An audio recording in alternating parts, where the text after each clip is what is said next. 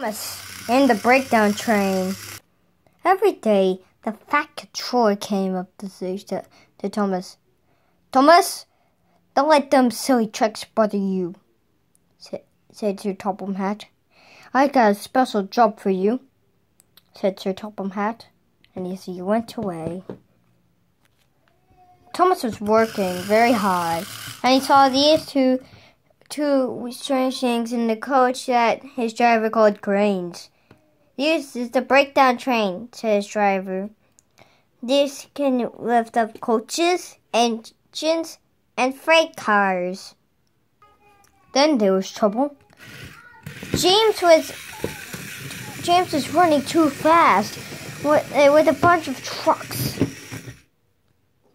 Thomas was pulling.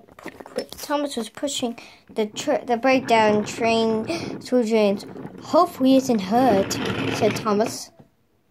Da, da, da, da, da. James was hurt. He James was hurt. His driver and fireman were feeling all around him to see if he was hurt. Then Thomas came with the bre- with the breakdown train. Thomas lift, lifting the cars back on the tracks. Boop. Thomas was biffing them. That's what you get. That's what you get, said Thomas.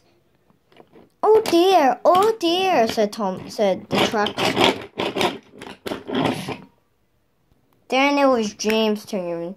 He was lifted back on the tracks. But then he couldn't move. So then Thomas had to couple up to him. Then Thomas coupled up to them and they went off. Good job, Thomas, for being a very useful engine. You shall have a bread train of your own and two coaches. Then Thomas had two coaches of his own called Annie and Clarabel. He liked to push them backwards and forwards. Ah. And that's this and that's the story of Thomas and the breakdown train. Choo choo! Guys, hello, it's Creeper Master 22. I'm going to keep on doing these little railway stories, so see